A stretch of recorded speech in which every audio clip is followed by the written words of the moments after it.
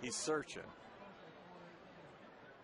Hit two of his three home runs against lefties. The 1 0 pitch is hit in the air out to deep left field, and this is going to be a grand slam. And Randy Arozarena knew it right away. A bat flip for Randy Arozarena. And all those walks come back to haunt the Tulsa Drillers.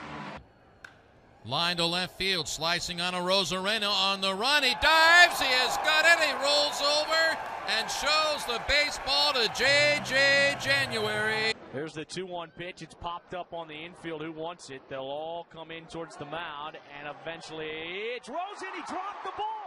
And now going to second base is Randy Arozarena. Now he's on his way to third, and he's going to get there safe. He's earned it. And that breaking ball was hanging a bit. That's hit to left, and it is